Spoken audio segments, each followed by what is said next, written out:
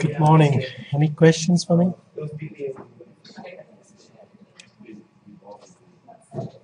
So the assignment is due today by four o'clock. Uh, I have some appointment in the afternoon after three o'clock, so I won't be in my office. But you can slip it under uh, the door if you're not able to hand it before that. The exam, second midterm exam, is a week from uh, today, and uh, once again I will be away at a meeting out of town, but my postdoc will come and administer the test. Um, on Tuesday, next Tuesday. So the format will be very similar to what we saw in the first midterm.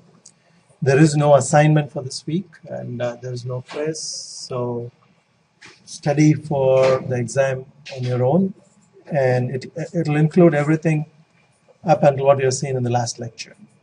Uh, system of linear, nonlinear equations, uh, root finding schemes, uh, the combination of both theory and uh, problem solving.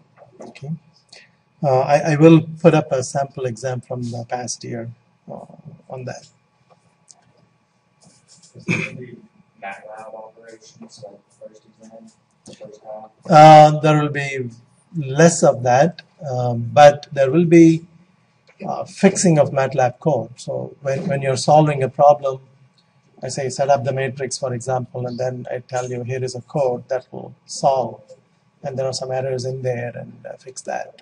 That kind of a question, but not on the what will MATLAB do if you enter this command kind of a thing, right? I think you guys are getting pretty good at it. We've gone past that stage, I think. Okay. Any other questions or comments?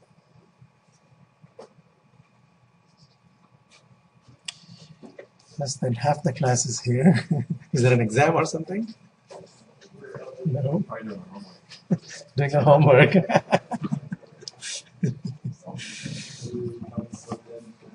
Sing up last night feeling. right. All these excuses, I think. Yeah. Um, today, I'm going to start uh, the next chapter or a new topic, and that is um, it will build, as you will see, on what we have seen, because every problem in uh, computer modeling of mathematical equations is eventually reduced to one of solving a system of linear or nonlinear algebraic equations. Even when we do differential equations, that's what we do. So, but the problem today that we are going to start is called functional approximation or curve fitting. How many of you are familiar with the idea of a curve fitting? Have you ever done it? No. Even if you have not done it, can you kind of guess what it might mean? Curve fitting, that concept. Trying to come up with a function to fit a curve. Exactly, that's what it is. Yeah. Often we have data points that we observe from nature uh, at discrete events, going back to observation of planets, planetary positions, and stuff like that. We just take data points every few hours, for example.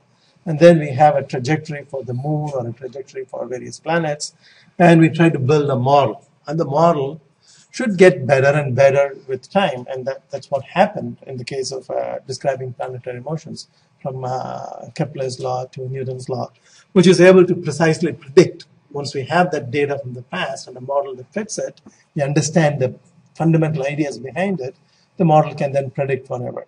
But there are situations where the processes are so complex that we cannot build a more fundamental model. By fundamental model, again, I mean one that are based on principles, principles of conservation of momentum, which is Newton's law of motion, conservation of energy, conservation of mass. Um, so those laws are generally universally applicable. Okay, whereas uh, if you talk about uh, viscosity of a fluid as a property, every fluid has a different viscosity, and for the same fluid, it'll change if you change the temperature or if you change the pressure. So you can measure the data of viscosity as a function of temperature and pressure. So you have a tabular data. So I want to describe it by a model, and that model will be a curve fitting exercise. Um, I have a specific example that I'm going to work with. And today I will introduce several features of MATLAB coupled with Excel. Okay, so this course is about mathematical modeling using a variety of computational tools. Uh, we have been focusing primarily on MATLAB, but we exposed you to HYSYS, for example.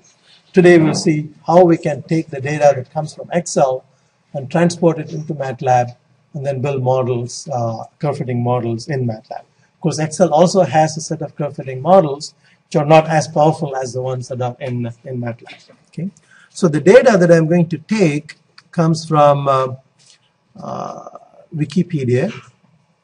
Okay, and this is the data for uh, water.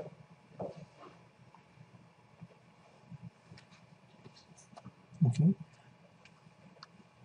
And you can see it in Perry. You can go to NIST, National Institute of Standards and Testing, their website, and there are these data are archived and readily available. And we would need them. Okay. So this particular one is steam table. Have you used steam table? You have, right? So you know what the data that is contained in the steam table is. So temperature against pressure, that is a saturation pressure, or the liquid enthalpy, or the latent heat of vaporization, density of vapor, etc.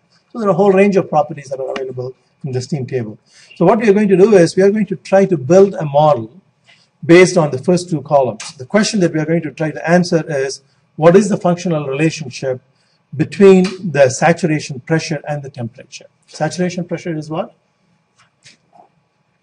Is the pressure at equilibrium. When water and water vapor are in equilibrium, what is the pressure exerted by the water vapor at the temperature? So at 100 degrees, for example, what should be the saturation pressure? Atmospheric pressure. Why? Because it begins to boil completely. Okay, but even at a lower temperature of 40 degrees or 30 degrees, there will be certain amount that will be in equilibrium in the vapor phase uh, with the liquid, and it will be much smaller amount. And so that pressure uh, temperature relationship is experimentally observed in a thermodynamic uh, uh, lab, for example. So how can we build a model? Why would we want to build a model? We would want to build a model, for example, if I'm interested in predicting what is the vapor pressure at 25 degrees at room temperature. This table gives you only at 20 degrees and 30 degrees. So if I pose you that problem right now, given this tabular data, predict for me the vapor pressure at 25 degrees, how would you do that? Interpolation. Okay. So maybe this topic is familiar to you. Okay, so the idea of interpolation is you construct a function and then use that function to evaluate it at any other point. So if the data set that you have used to predict uh, falls within the data set that you have taken, then it is called interpolation. If it falls outside of it, it's called extrapolation. And we will see the pitfalls of extrapolation and various degrees of approximation of the interpolation. What is the simplest interpolation you had in mind? You just say it is linear. Okay. So if you take the data at 20, take the data at 30. So I, am, I want it at 25 degrees. I'm exactly at halfway point. So I divide this 4.24 minus 2.53, divide it by 2, and add it to one end or subtract it from the other end. And that is my estimate of what the vapor pressure is. So if it is not at 25 degrees, if it is 26 degrees, then you do it again a proportional scaling. That will be a linear interpolation. Now, if we plot the data, is it going to be linear? If it is not linear, can I use a linear interpolation and get away with it? These are the questions that we need to answer. Okay, so I have taken this data, copied this data, and put it into an Excel spreadsheet.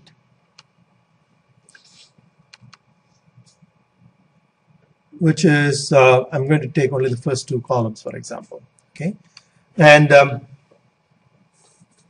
I'm going to take it up to 100 degrees.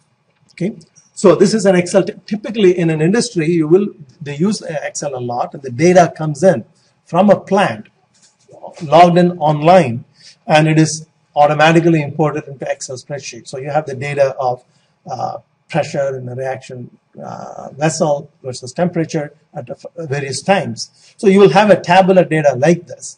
So the first question would be, how do I get this into MATLAB if I want to do any processing in MATLAB? And uh, the Excel and MATLAB can communicate with each other. And there is a, in a MATLAB, there is a add-on feature that's called Excel link. So you, you must enable that. and I, I hope it is enabled in most of the labs. If not, you need to go and enable it by going into this uh, options and then add-ins. And under the add-in, you need to search. And th there, there is a add-in called spreadsheet link with MATLAB. Check that is available. If it is available, select that. And once you select that, you will have among the add-ins, when you select, for example, uh, from home, you see this add-in, you select that, and you get a set of commands on the top. Okay, and these commands allow you to do the manipulation. For example, if MATLAB is already not started, you start the MATLAB. But you can set it up such that whenever you start Excel, it automatically starts MATLAB, which is what I have done. Okay, and then put matrix. What do you think this would do? Exactly. It puts a matrix, transfers a matrix from Excel to MATLAB. And similarly, get matrix will get a variable from MATLAB and put it into the Excel spreadsheet. So these are the two important functions. And then, of course, you have evaluate string. Evaluate string would be you can put a string which would be, for example, fsolve. fsolve for Excel will be treated as a string because it doesn't know about fsolve. But MATLAB will interpret it, evaluate it as actually a function. So you can execute a lot of MATLAB functions from within Excel, which is a very powerful because all the powers of MATLAB are now available to you within Excel. And then get figure, and there are other things I haven't even explored what they are. But here I have selected two columns going from 0 degrees to 100 degrees for temperature and whatever the corresponding pressure is. I have highlighted it, and then I say put that highlighted part. It says, okay, what is the variable name you want to give it? Okay, so if I say A, what do you think it'll do in the MATLAB window? It'll create an array, whatever, 10 or 21, in this case 11, 11 by 2. Okay, so that variable is already created. So the data has been transferred. Click on that, you will actually see the data here. Right? And um, so you can now play with the data. You can create, for example, uh, T is equal to A uh, first column, comma 1. And similarly, P is equal to the second column. Okay, so I have created two more variables, P and P. Okay, uh, in MATLAB, there are also, you can, of course, you know how to plot it. Okay, you can use the plot command, plot t comma p. Obviously, it is not a straight line, right? If all the data points were a straight line, you will get a straight line equation. But here, uh, what you're doing then is between any two data points, let me put the symbols as well.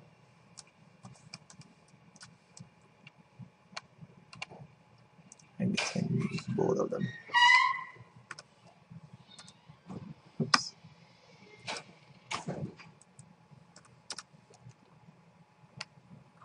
So those are the symbols. And what MATLAB has done is between those symbols, it has connected by a straight line. Okay. So using this graph, you can, for example, go there and then read off if you like. Okay. Or you can fit that by a straight line. And that's what we're going to do. Put, fit that by a straight line or a quadratic equation or a cubic equation. MATLAB provides you tools for doing those and answering that particular question. What is the uh, vapor pressure at any temperature at values other than what is in the table? Okay. Any questions? Now, MATLAB has certain nice features which uh, you don't even need to know, for example, a lot of these commands, plot commands. If I select, for example, P and T, and there is in the workspace variable list, there is a graphical option. So it's a, by simply clicking on it, you can select what type of graph you want to plot. For example, a simple XY graph. Of course, this is plotting uh, temperature against pressure, but you can switch them around and then plot it. Okay. What it does is actually creates the command plot for you and then generates the graph. And the other nice feature is you can capture all these into a M file by your, uh, so MATLAB will write the M file for you. And we will explore these as we go along. Okay. But uh, this is a nice feature I just discovered recently. So there are various kinds of plots that are available. You can generate various kinds of plot plotting options, okay, various types of graphs, depending on it's a 2D data, 3D data, etc., without really knowing much about these commands. Using a GUI, graphical user interface, you can create these plots. Okay, so we know how the data looks. Okay, it is not linear.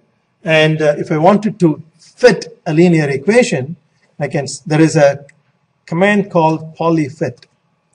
What it does is it fits a polynomial. It fits a polynomial to the data, uh, t comma p, and you have to give the degree of the polynomial. Now, when I say fit a polynomial, do you understand what I mean by that? How many of you don't? Okay. So what do, I need to specify as the third parameter the degree of the polynomial. So if I say 1, it fits a polynomial, what do you think it will return?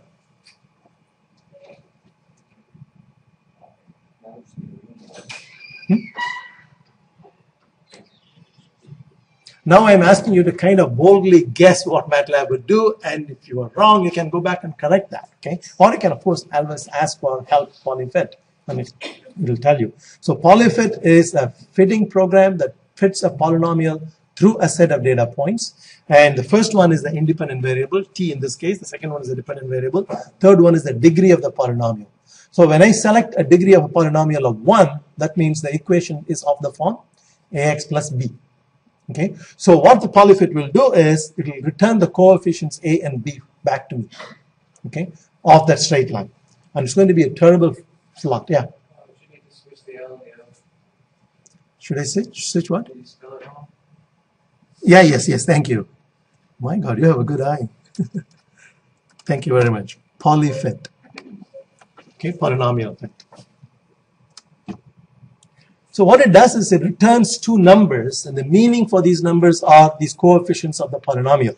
So if I, I, so, I need to save this in a variable. Let me call it C1, coefficient of degree one. It's just a mnemonic for me, and then I'll create one for two, second degree polynomial, and then a third degree polynomial. And what you notice is, as the degree of the polynomial goes up, a third degree polynomial will have four constants it will be a times uh, t cube, b times t squared, c times t plus d. Okay, so it's a combination of those. So it returns four numbers. Okay, now using each one of these, I can evaluate the polynomial at any other temperature that I want. But let me plot these first. Okay, um, I have the graph, or do I have the graph? I guess not. Okay, plot t comma p comma Okay. Now I'm going to type a command and I want you to kind of follow and uh, tell me what I'm trying to do. Um,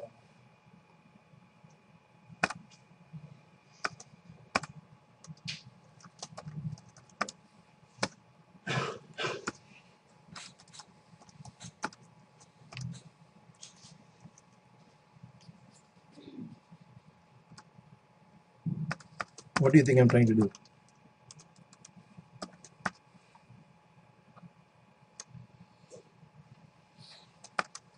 Who can decipher that? I'm trying to put a polynomial or polynomial C1 on the Exactly. I'm trying to, I'm plotting, there are two curves I'm trying to generate. The first curve is simply the data points that are given, that are stored in the array T and P, using a symbol underline. Then I'm creating a vector 0 to 100 in steps of 20. And I'm evaluating the polynomial. So polyfit fits the coefficients and gives me the coefficients in C1, C2, or C3, depending on the degree of the polynomial. And then I'm evaluating that polynomial at the same independent variable range, 0 to 100 in steps of 20. Okay. Um, let me just type this. Obviously, I have an error.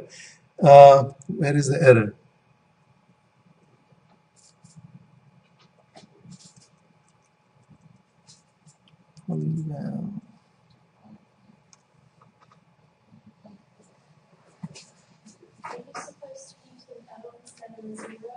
Yes, very good. Yeah.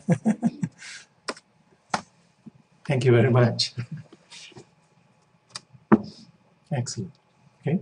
So what this graph is, the blue graph, the blue line is the actual data point, and the green one is the polynomial fit for the data point. Obviously, if I use a first degree approximation over the whole range, I'm going to get a very poor representation of the data. And if I try to use it to interpolate, maybe I get lucky here, but if I'm trying to predict it in this range, I'll be completely off. Okay? Any questions on that?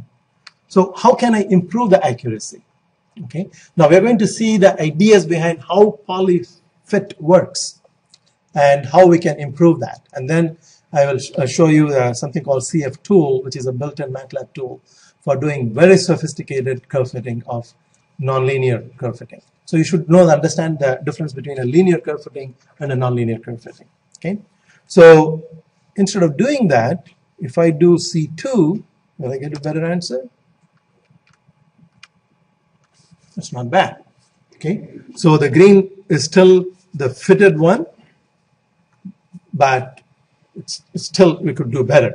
Okay, so you get the idea, right? So if I go for the cubic, maybe I will do even better.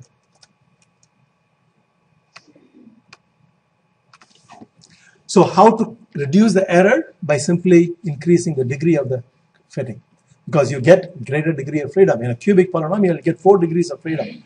Okay, so how does polyfit do conceptually? Let's talk about it, and then we'll see the mathematical way of uh, actually it is done. So you take the difference between what you predict and what is the actual value at each one of the data points. Okay, so the green line and the blue line they don't match exactly at those data points. So you take the difference, and that is your error. Okay, and you add up all the errors at every one of the data points that you have. That's your sum of errors. Square that. Okay. And then minimize that. That is called the least squares method. So polyfit uses the least squares method, trying to minimize the error between its prediction and the actual data. And it finds the best value for these four coefficients or three coefficients or two coefficients. So when you have only two coefficients in a linear polynomial, the degree of freedom that it has is not great because it has only two constants to adjust to minimize the error. Okay. Whereas if you give it more degree of freedom, then it does a better job. But of course, there is another problem in increasing the degree, the degree of freedom or the degree of the polynomial, um, because very high degree of polynomials will tend to have unnecessary oscillations, and we will see examples of that. Why it gets uh, uh, poorer um, in a later examples. Okay. Any questions so far? So we have seen what is the idea behind polyfit and polyval. Polyfit fits and returns to you the coefficients of a polynomial. Polyval evaluates that polynomial using the coefficients at any other location that you want. now I'm going to ask you a few subtler questions. Okay, so I have to. I'm going to take only three data points or four data points 10, 20, 30, 40. Okay, and I create a new variable uh, t cube okay and I will copy these and put it in T3 so I'm also showing you other ways of creating new variables without going into the command line okay? MATLAB has these nice features. And then go to the pressure and from the same location I'll copy these and I create a new variable called P3 and I'll paste that number variables there. Okay, so I have a variable called T3 and P3 which contains four data points, pressure versus temperature. Okay, so I'm going to use that to do a fitting.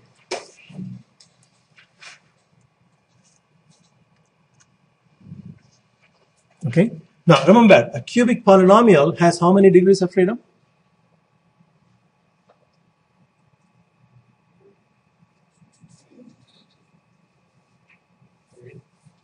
A cubic polynomial will have a linear polynomial, a straight line.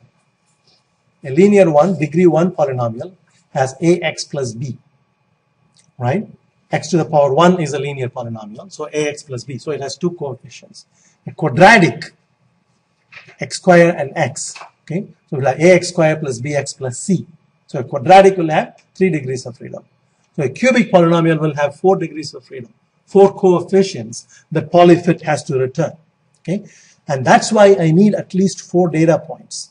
Okay, so I've taken four data points and stored it in T3 and P3, and I'm saying fit a cubic polynomial, and it gives me a set of polynomials. Are these coefficients different from the one that I used previously? Will it be different? Would you expect it to be different? If I'm not making sense, please ask me to roll back and we'll build, start building up. Because when I ask a question and I see kind of blank face, I feel that I'm not getting the point across. My question to you now, I'm asking you to think, is I, I fitted a cubic polynomial, one using all the 11 data points. I have 11 data points in T and P. Okay? And I fitted a cubic polynomial. And I talked about the idea of a least squares minimization that polyfit uses to find me those three coefficients, the four coefficients. Okay. Then I said I'm going to take only four data points and put a cubic through that. Okay. It's going to still use a similar algorithm, um, but the degree of freedom that it has is only four, and there are only four data points. So it can only try to minimize the error at those four data points. And uh, so it gives you a different polynomial, a different set of coefficients. Okay. So if I try to evaluate that, and I guess maybe I should, uh, let me call it C3 small, using a small data set. Okay. I'm just making these up. Okay. And then let me go back to C3 itself using the full data set. So this is C3, this is C3 small. Let me close that. Okay, there are obviously different sets of coefficients because they use different data sets. Okay, one uses only four, the other one uses all the 11. Okay, now I'm going to evaluate the value of the saturation pressure at a certain temperatures. And what are those temperatures? They are going to be T3. Okay, so poly val C3S comma T3. What would I expect as the value? What am I trying to do? I'm trying to predict what are the saturation pressures at those temperatures that are contained in T3. These are 10, 20, 30, and 40 degrees. Okay, so let me do that. And what is P3? What do you see? The actual values of the saturation pressures are 1.227, 2.536, etc. But polyfit also predicts exactly the same values. There is a very subtle point here. This is for the final exam. These subtle points will be explored. Okay. So when you are using the number of data points that fits with the degree of the polynomial, in this case cubic with four data points, the, the, the fit will pass exactly through those data points. So there is no error at those locations. But of course, any other position that you evaluate, there will be error. For example, if I want to evaluate uh, at uh, instead of a 1020, I'm doing it say 15 25 at these two locations. From the four data set point, that is using a cubic passing through four data points, and then I do the same thing with the full cubic over 0 to 400 uh, to 100, okay, and I get completely different answers. The idea of exploring all these, you may probably have to go back and uh, play this again and think about it is for you to actually think and understand what, what is curve fitting and what are we doing with these uh, algorithms. Because you can really abuse it and get nonsensical results. So the graph of just four data points, is it going to be the same, basically the same line as the graph between those points is the main graph? No, no, good question. You have to keep asking those questions and play with it. The question is, will the graph of those four data points be the same as the graph for the full 11 data points. Within that range, it will exactly be the same because we are using the same data points. Okay, but the curve that we maybe let's plot both these curves. Okay, so plot um, t comma p comma. I hope I get the right symbol. So I'm plotting the basic data points given over the entire range, 0 to 100 degrees. I'm also going to plot those four data points. They have to be exactly the same because I extracted from them. Okay, so T3 comma P3 comma plus Okay. And then let me plot the graph that passes through those four data points and the graph that passes through the 11 data points to see how they compare. So how would I plot this? The four data points would be T3, comma, poly val. What should I put?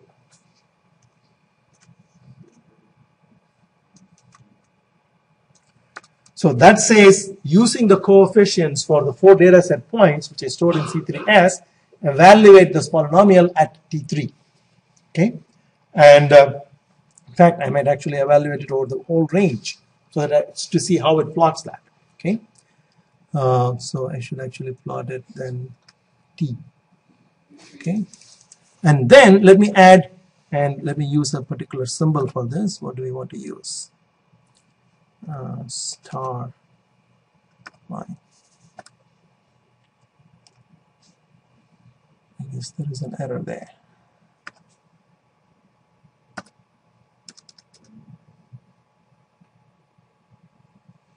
Star. Okay.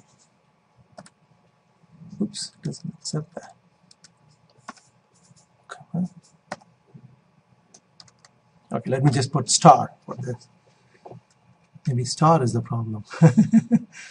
uh, what other symbols are there? Mm. Okay, let me change the color. Green. Fine. Ah, error is because of the because not because of the star, because of the comma there. Okay, so the, there are three curves we have added now. The first curve is data points, original data point from uh, 11 data points.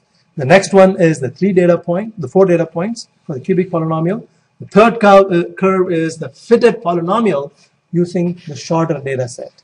And the fourth one that I'm going to add is polyval C3 comma T comma star dash. Any questions on that long statement? Let's look at that curve. So, what do you see? What do you understand? What do you interpret from that? What do you think is that green line there? I specifically put G for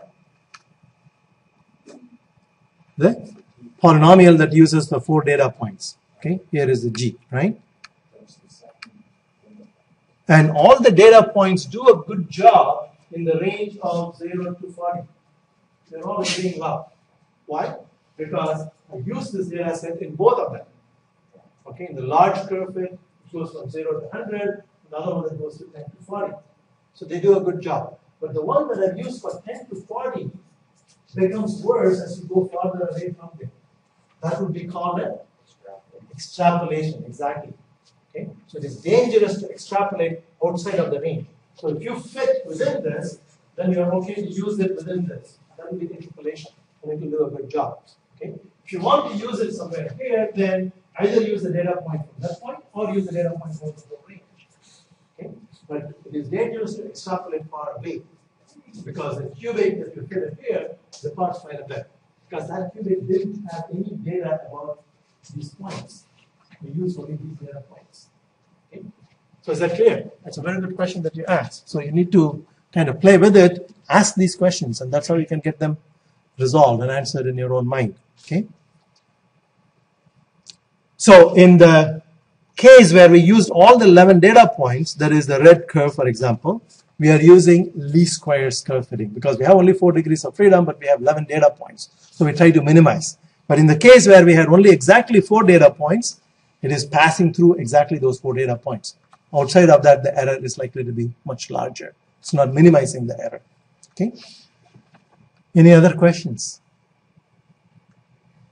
So this is just to give you a kind of a motivation of what kind of problem is useful, typically for interpolation of tabular data is one use. The other use, of course, is fitting more complicated functions, and we will see that. And uh, of course, solving differential equations, the same idea extends also when you like, understand it in a more abstract way as functional approximation. Here it's a functional approximation for a data set, but you can also have the same thing for solving differential equations, as we will see later. Okay. So if there are no questions, let's go back and uh, start reviewing the theory behind it. Um,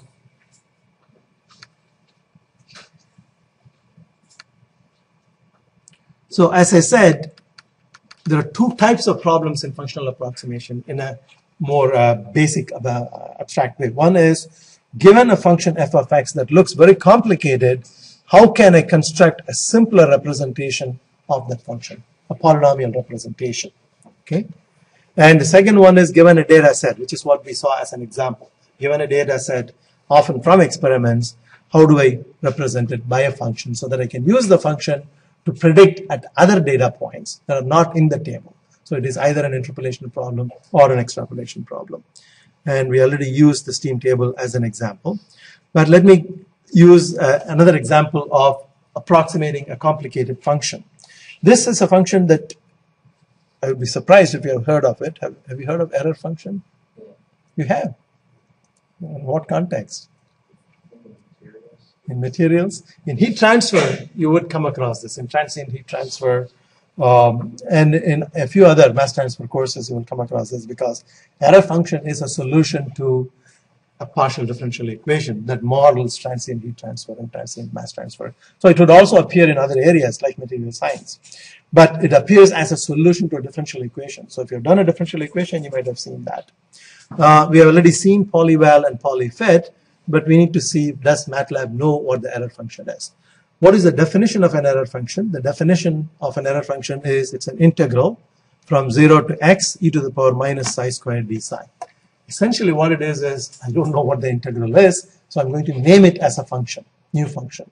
Okay, And that's what mathematicians do. Mathematicians look at differential equations and say, okay, this differential equation has a series solution and I'm going to give it a new name. So Bessel function, Legendre functions. There are many, many such functions that are solutions to differential equations that have special names and hence a special representation. So we can evaluate it. If I want to calculate, for example, error function at point one, MATLAB will know how to do it.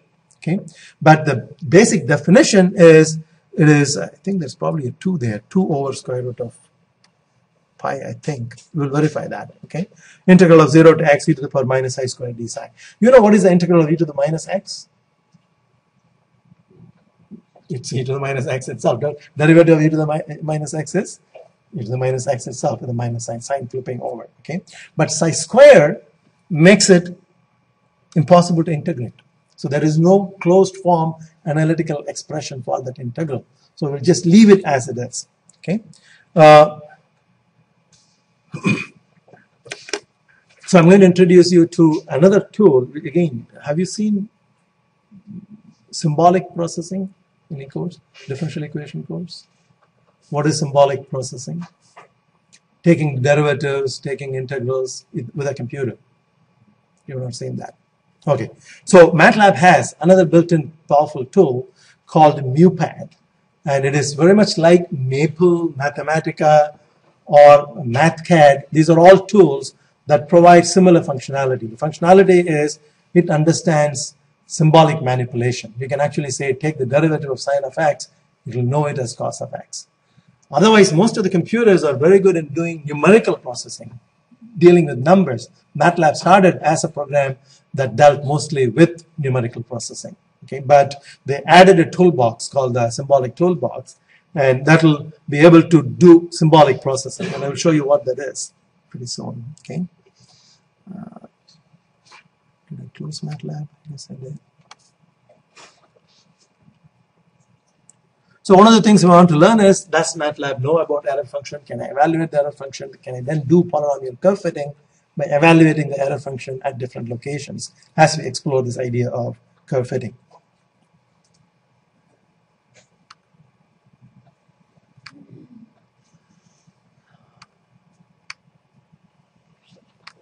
Okay, so does it know error function? So I'm going to say evaluate error function at 0.5 for me. Says so this is just like saying sine of uh, 0.3.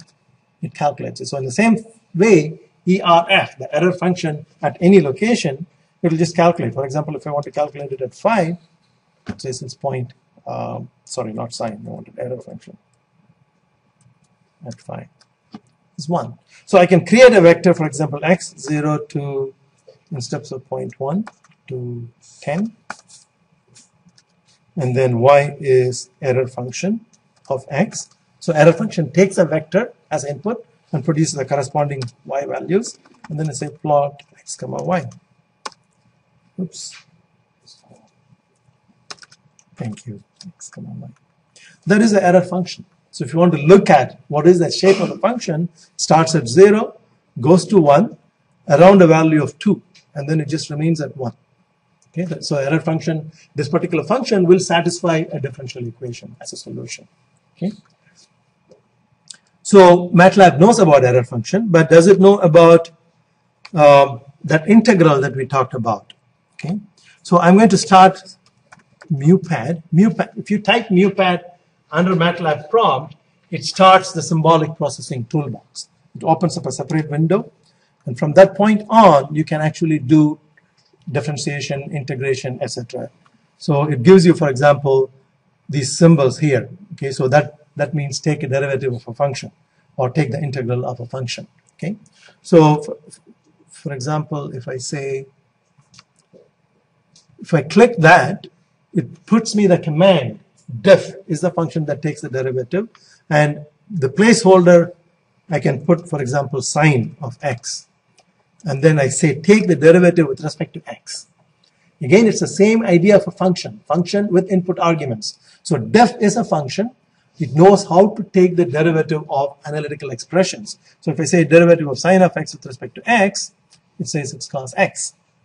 If I say derivative of sine of x squared with respect to x. it Says it's 2x cos x squared. Okay, it's really a very powerful tool for handling numerical, uh, I mean, analytical integration and de uh, derivatives.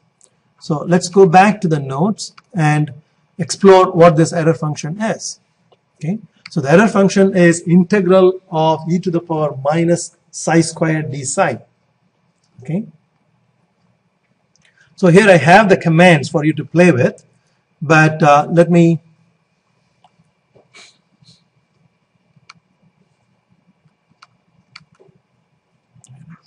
Oops. Okay, so I say integral of uh, exponential of minus x with respect to x. Okay, so I'm saying do the integration with respect to e to the minus x. And it says minus 1 over e to the x or minus e to the power minus x. But when I change that to x squared, which is what the error function is based on, it immediately tells me that it is error function of x multiplied by 2 over square root of pi. So the 2 over square root of pi is the normalizing condition that makes the error function go to from 0 to 1. Okay. So if I had done, for example, 2 divided by square root of pi multiplied by that, then that will be error function. So the MuPad knows symbolically what the error function is. Here, x is a symbol. x doesn't have any number, any particular value. Okay. So when you go into MuPad, you are processing symbols. You are able to take differentiation, integration, etc. Okay. But MATLAB, from the MATLAB command window, you cannot do the same thing because MATLAB, when I say error function of x, it expects a number, not a symbol. Okay, so x must be defined before. For example, say clear all the workspace, erf(x), it'll say undefined variable x. But if I define x as 0.5 or and then error function, it can evaluate it. Whereas the MuPad can evaluate symbols and uh, derivatives of symbols, etc. Any questions? Have you seen this symbolic processing? No? Okay. Where would it be useful? Let's see whether anybody can. If I give you an assignment that involves uh, Newton method, you need to take all the partial derivatives of every variable. The Jacobian, exactly, exactly. That's what I want you to kind of link. So here we have seen a new powerful tool which takes the derivatives. And where do I need to take a derivative? In building the Jacobian matrix, for example. Okay, so if you can call MuPad and pass the function and say take its derivative, give it back to me, and use that to evaluate the Jacobian, you have really done well in integrating and combining various parts of these tools. So you should be able to use Excel with MATLAB, MuPad with MATLAB, even Aspen HYSYS as links to Excel uh, that you could uh, use, use to transfer the data. Okay. All right. So let's go back to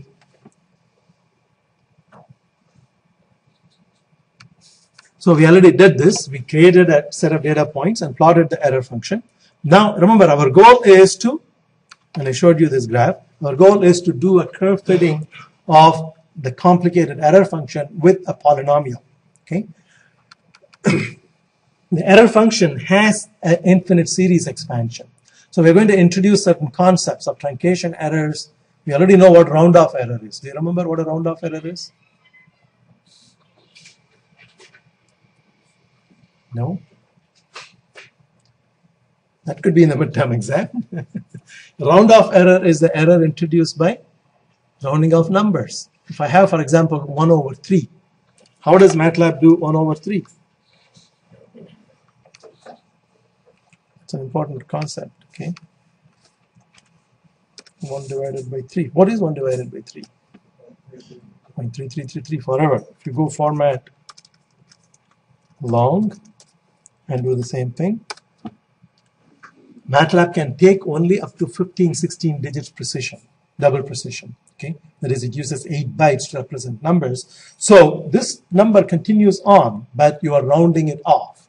Okay, at the 15th or 16th decimal place, and that introduces an error in the number representation.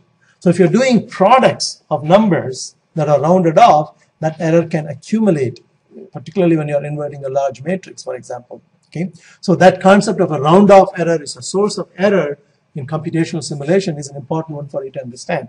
The other one is called the truncation error, and that's what we are going to see now. Okay. So this error function has an infinite series representation. Okay. So what is error function? One definition is the, as the integral of e to the power minus i squared d psi, but e to the power minus psi squared itself can be represented as an infinite series that is given here. What is e to the power x? If I ask you this, what is e to the power x? It is an infinite series, right? And that series is 1 plus x plus x square over 2 factorial plus x cube over 3 factorial, etc. It just goes on. Okay, what is sine x? That has an infinite series representation. What is cos x? Every one of these functions has a series representation, which is what is used in your calculator, for example. When you're calculating e to the power 2, what it does is it comes here and takes enough terms in the series to give you the desired accuracy. Okay, and then truncates the series. And that is called a truncation error. The error introduced by neglecting higher terms from an infinite series would be your truncation error. So this is actually a series that goes from k equal to 0 to infinity. Okay, and because I have psi square, I have x to the power 2k. So this is essentially e to the power x, but wherever I have x, I've replaced it by x squared. Okay, and there is a minus sign, so it is minus plus, it alternates. Okay, so do you understand this series? Any questions on that? I've noticed one thing. Whenever we are doing practical problems, there is a lot of interest and you guys are following. But whenever we drift into some theoretical stuff, I don't see the same level of excitement. I don't know what to do to keep that up. Only a few that. Um, th th there are some studies that classify people uh, into analytical and uh, intuitive. Okay, but majority of us, including me, tend to be the intuitive side. Very few are analytical side. I don't know that I've given you this kind of a funny quiz. Um, let me try that. Um, I need a volunteer. Who among you consider yourself as an analytical person? Are you ready to play the game with me? uh, pretend to be, whatever it is. I, I, I pretended for a long time, and I realized when somebody gave me this quiz, I realized, oh my God, I'm not analytical. it's, it's a game. It's a game that we play. Okay, and I want all of you to play this game in your own mind, okay, in your own mind's eye, but not loud. I want only one person to play it with me loud. Okay, the way that we are going to play this game is I'm going to ask you a question, and you're going to answer the question spontaneously without waiting for it, without analyzing it. Okay, and it's going to be very simple. For example, I will say, "How do you pronounce B O O K?" You would say book, right? And that's that's a kind of a silly test it is. Okay, uh, are, is everybody ready? Are you ready? Okay. Um, how do you pronounce H O P? How do you pronounce S H O P? What do you do at a green traffic light? How many of you said the same thing? I said the same thing. The question was, what do you do at a green traffic light? And you said stop, right? And I said the same thing. So what, what does the mind do? It's, I set up your thinking process. You say hop, shop, and the next thing that comes to your mind is stop. right? You don't, you're not analytical enough to kind of think quickly and say information is different, right? So there are a lot of studies like this that try to understand how brain works. Okay, so I think that's probably what the cause is for you to drift away, and this is an attempt to try to bring you back. okay, so this infinite series, getting back to go back and play it with your uh, family, and uh, it's a fun uh, game. Okay, so e to the power x has an infinite series, and so e to the power x squared has this particular series. And make sure that you understand. Okay, all we are doing is applying the same definition of e to the power x, replacing x by minus psi squared. So I get a minus 1 to the power k, x to the power 2k. The 2 comes from the fact that it's a psi squared. Okay, so I can take this definition of the infinite series for e to the power minus psi squared, put it into the error function definition, and integrate every term, term by term. And when I do that, I will get an infinite series representation for e to the power minus, uh, sorry, the error function at x. Okay, so this is an infinite series. Once again, I need to truncate it. MATLAB does exactly that. When I say error function at 0.5, it will go and set up the while loop, and we have seen an example of this in the uh, very first MATLAB tutorial. Okay, so take enough terms and decide when the next term is smaller than a tolerance, 10 to the minus 12 or 10 to the minus 14, and then stop. And that idea is called the truncation error. The error introduced by chopping off at a certain number of terms from an infinite uh, series or even a polynomial with a large number of terms. If you truncate it with fewer terms, you incur some error in that representation.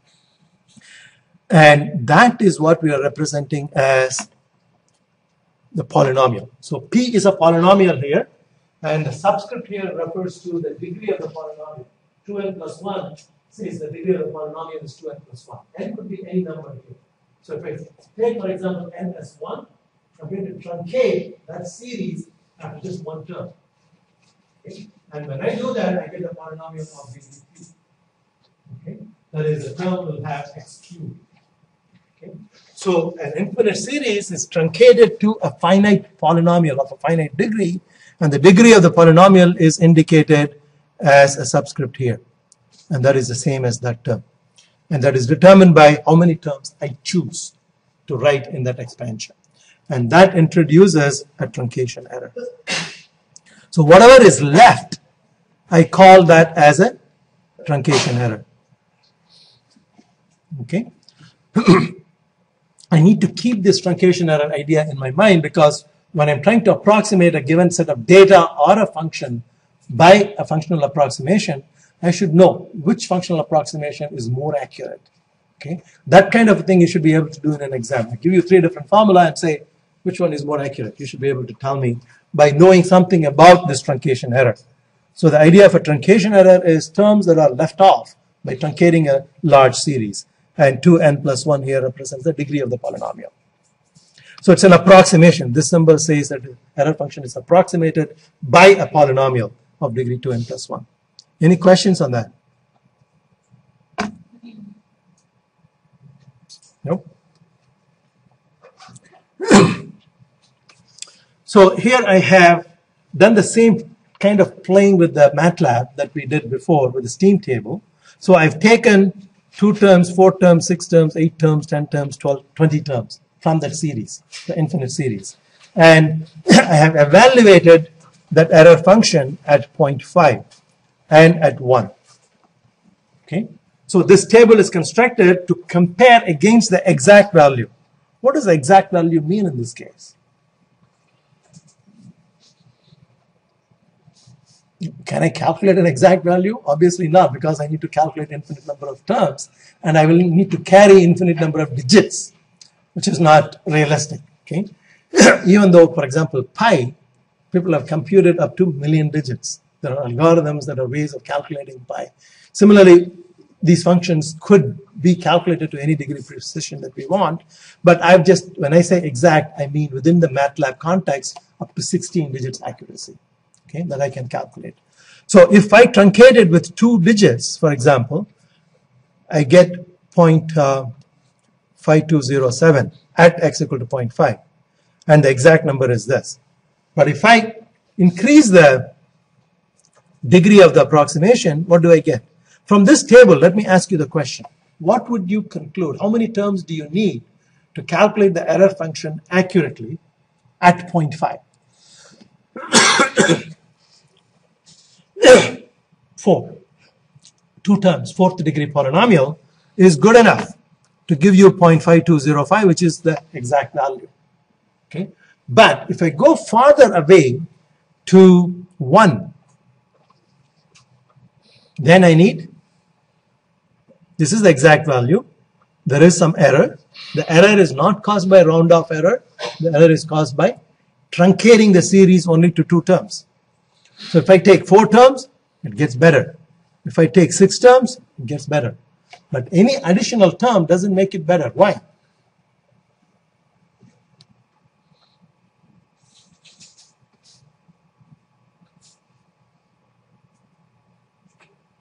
Why doesn't taking, for example, eight terms, six terms, I get 0.842701, which is the same as the exact one.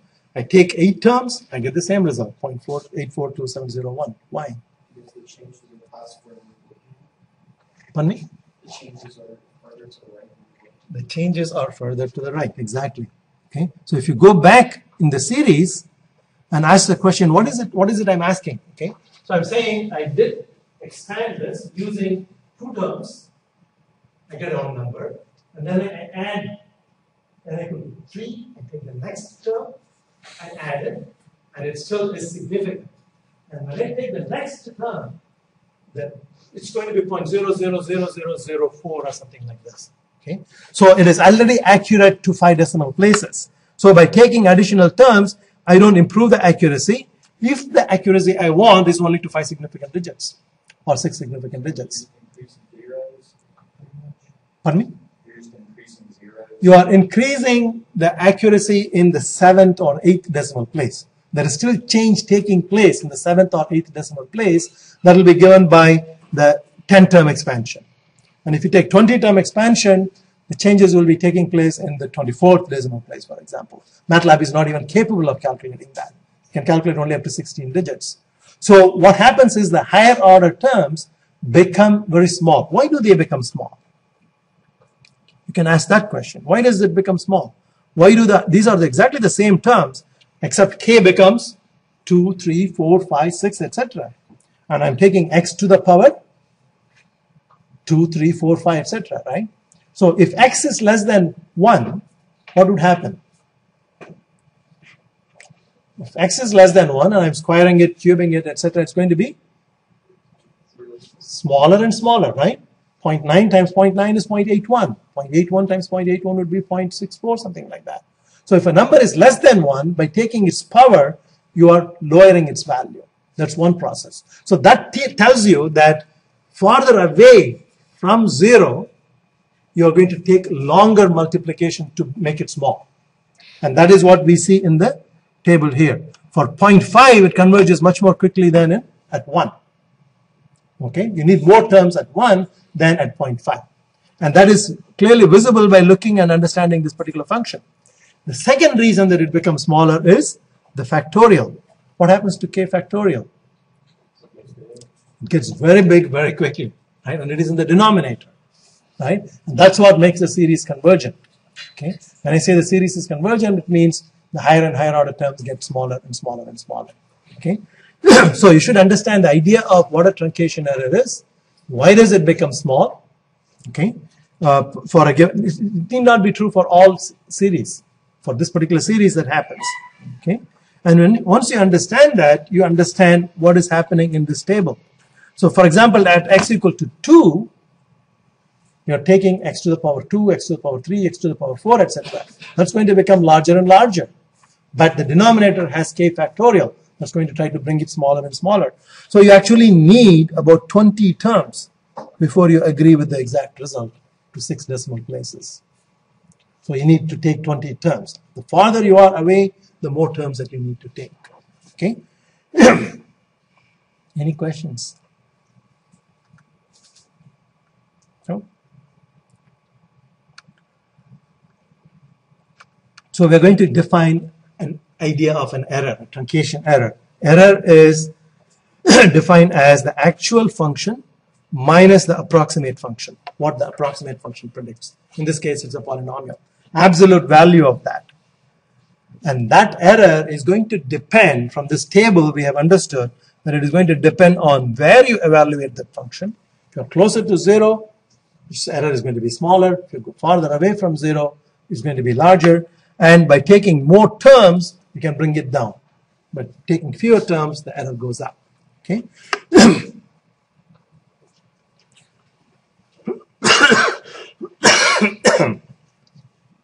so we have played with error functions so far, and we want to generalize this to any function.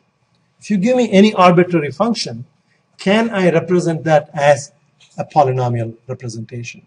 Okay, and that is represented by this expression. The idea behind this is you give me the function f of x, I need to be able to build a polynomial of certain degree n that represents as closely as possible to the function f of x. And that polynomial can be written in terms of the series that you see, k from 1 to n, ai phi i. Phi i are called basis functions. Have you seen the idea of a basis function, basis vectors before? No? Basis vectors? Explain it further? We might have. Okay.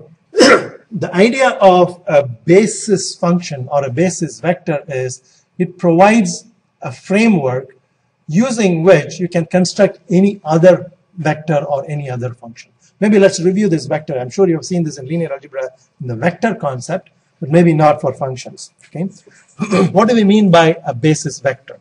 Suppose in, in two dimensions. Okay. This is x1, this is x2. And you can generalize this to any n dimension. Okay. So I have two coordinates, x1 and x2. And in each direction, I specify a unit vector, i1, and a unit vector, i2. You've seen this idea, right? What a unit vector is. So what we are saying in a vector space is, if you give me any point P, that point P can be represented as a linear combination of these basis vectors. That means I can write P as a vector as I1 x1 plus I2 x2. What does it mean? It simply means in the x1 direction that I1 says, I1 points the direction, one unit in the x1 direction. So in the x1 direction, go a distance of x1. Okay, and then go in a perpendicular direction I2 a distance of x2 to reach that point P. Okay, that means I'm going to go along this and then go along that. and so this distance is going to be x1 and that distance is going to be x2. So this point P is given by the coordinate distance x1, x2. So if, I, if you give me the coordinates x1, x2, I can locate where P is. But I can also write it in a symbolic way as I1, x1 plus I2, x2. What is I1? I1, as I said, is a unit vector. So I1 is going to be 1 and 0. That means it has a unit of 1 in the first direction and 0 in the second direction. There's no component in the x2 direction. Similarly, I2 will be what? 0 and 1. With this definition, if you tell me x1 and x2, I can actually plug I1 there, x1 there, I2 there, x2 there, carry out the product, and get the coordinates x1, x2. as the position vector, that position vector P, represented by a vector like this, starting from the origin. So this idea tells you that any vector in an n-dimensional space can be written as a combination of basis vectors, and the, these are the basis vectors, and the actual uh, the vector values, component values. The same idea applies to functions. Okay, so you have an arbitrary function f if I know the basis function. So the basis functions must be known, just like the basis vectors are known here, 1 and 0 and 0 and 1. The same way basis functions are known functions. If I take those functions and I make a linear combination of all those basis functions, I can represent any arbitrary function. That's the idea. Okay? But if you want a geometrical interpretation of that, I've given you one for the vectors, but for the functions, what does it mean? For the function, for example, this is x and this is f of x. And this is some arbitrary function, f of x, that is given to me. And I want to construct that arbitrary function as a linear combination of basis functions. What are the basis functions? I could take 1, x, x squared, x cubed as my basis set. So when I do that, what I'm saying is I'm going to take 1 and I'm going to take x. I'm going to take x squared maybe.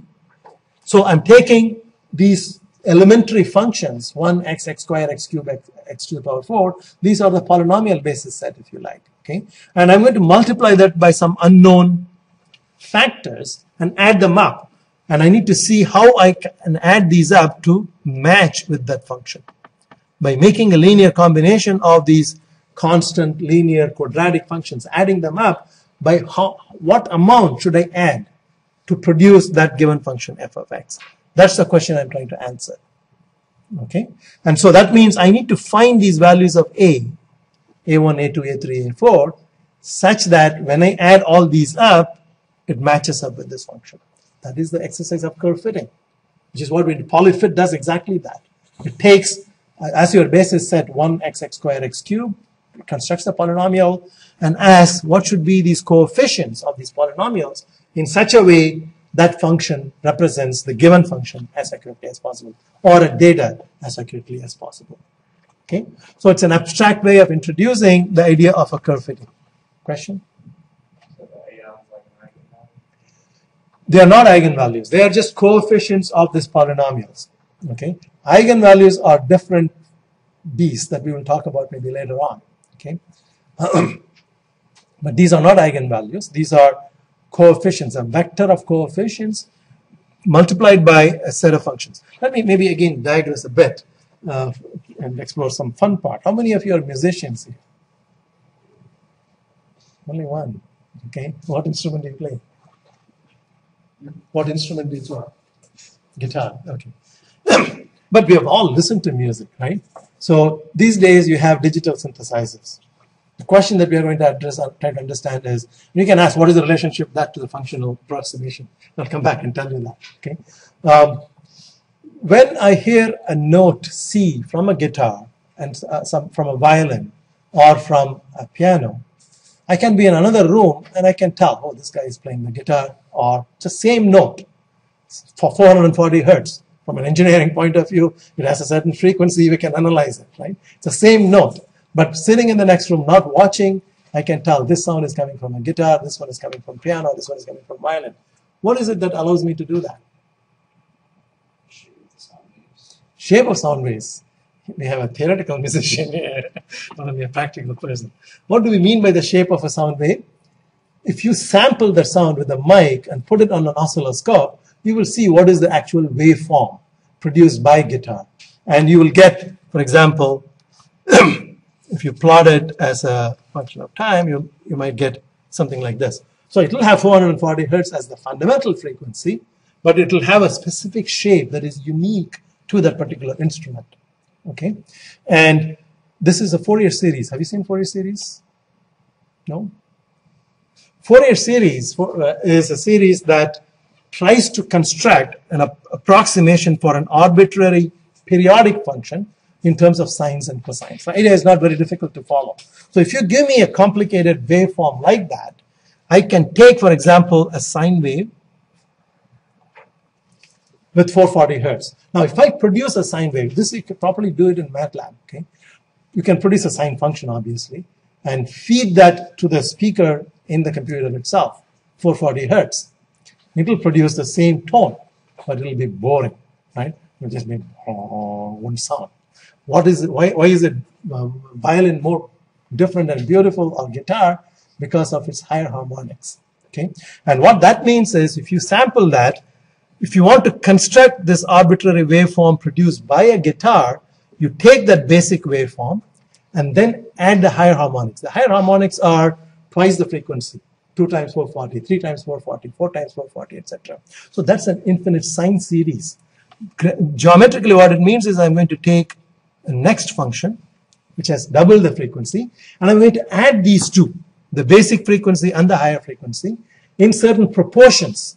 So I'm going to write this as f of x as equal to summation of ai sine omega i t. Omega i is the frequency. Okay, so I'm going to take sine functions of various frequencies and find the weighting factors for each one of them and add them up in such a way that approximation comes close to this. And digital synthesizers basically use these principles. So the same keyboard can produce the sound of a flute or a guitar or uh, a piano. How? Because it is digitally synthesized. They sample the sound, they break it down into the Fourier coefficients, and they store only the Fourier coefficients. So when you say flute, it gets a bunch of Fourier coefficients, puts the sine waves, adds them together, and it sounds like a flute. Okay? And the idea is you can represent any arbitrary waveform as a linear combination of set of basis functions. In the case of a Fourier series, those basis functions are sines and cosines of various frequencies. Generalize that idea to any arbitrary function, that's what we have here. Okay, so you can take any arbitrary function f of x, select a basis set, need not be just Fourier series, could be just polynomial set, and then weight as a linear combination. And then try to pose the problem as one where I need to find out what are those coefficients, such that the right hand side of the series, a finite series, represents the left hand side as accurately as possible. Any questions? Does it make sense, this idea of a basis set? No? So now building on this idea, we're going to say, okay, I'm going to take my basis set given by this. What I said exactly. When i equal to 1, x to the power i minus 1 is x to the power 0, which is 1. So the basis set, if I have to write it expanded as it's going to be 1x, x square, x cube, etc. So I decide how many terms, that determines the degree of the polynomial. So that is a polynomial representation for an approximation. And in this polynomial approximation, I have finite number of terms, and the degree of the polynomial is n minus 1, and these coefficients are the unknowns I need to find out. That is the problem that is solved by polyfit. So give polyfit a set of data or a function, it constructs this basis set. The basis set for polyfit is always 1x, x squared, x cubed, from coming from a polynomial set. Okay? So that is the theory behind what polyfit does, at least part of it, setting up the problem.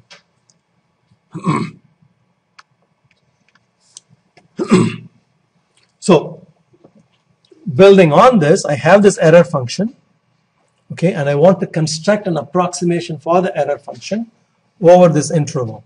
And this kind of a thing you should be able to do in an exam, a post-final exam now we're talking about. This is not included in the midterm, okay? So going to pose you a problem and give you a function and I say, construct a polynomial representation of degree 2 or degree 3.